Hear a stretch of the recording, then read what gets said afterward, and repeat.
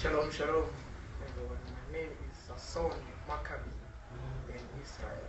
I'm a member of the African Hebrew Israelites of Jerusalem and the southern Eden.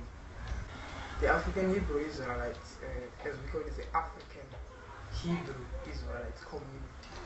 So we're a community or a nation that uh, aspire to keep the commandments of God the Almighty.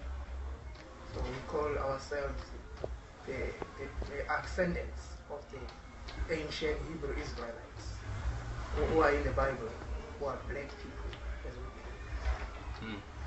We believe the God of who created the heaven and the earth. His name is Yah, Yahuwah.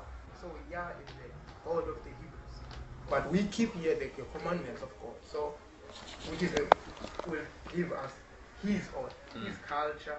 So everything we do revolves around the laws of God. The commandments of God or the laws of God uh, cannot be uh, cannot be kept without one uh, worshiping God. Or if we do the opposite, keep the laws of God, that will bring us closer to God.